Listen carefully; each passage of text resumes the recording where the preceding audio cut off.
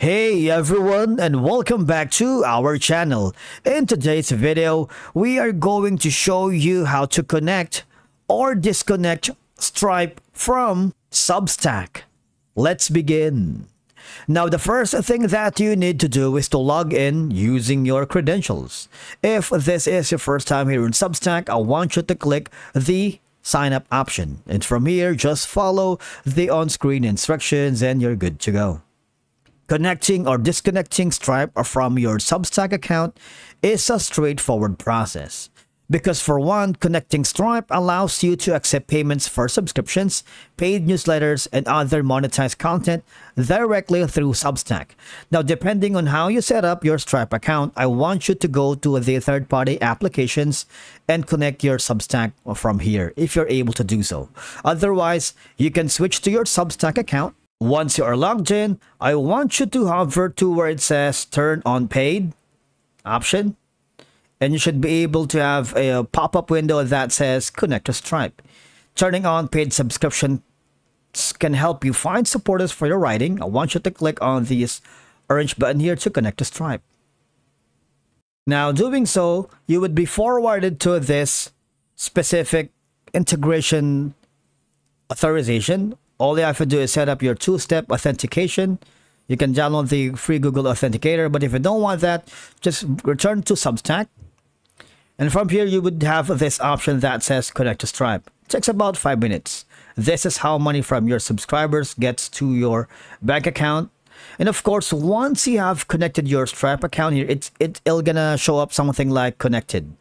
And all you have to do is simply disconnect for you to be able to disconnect or connect Stripe from your Substack.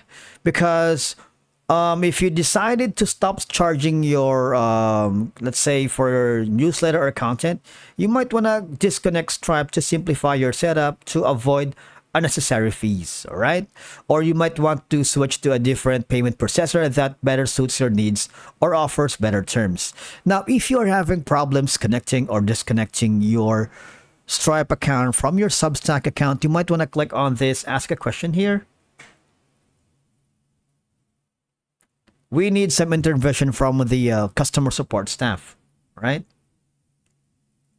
Might want to click that or hover to the help center.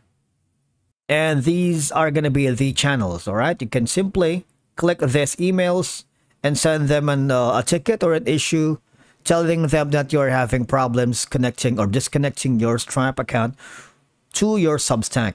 You can also do that here on Stripe. But if you wanted, you can simply click this link right here. And again, simply put, type in your question.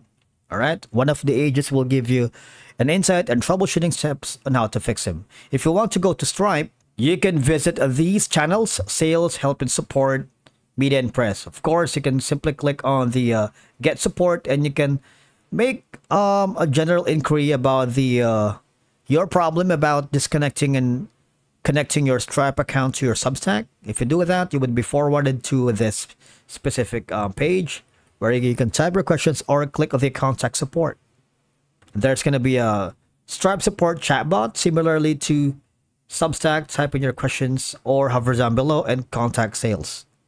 All you have to do is send them an email or a ticket telling your, them you're having problems on connecting and disconnecting your Substack account to your Stripe account. That's it for today's video. Thank you so much for watching. We will see you in the next one.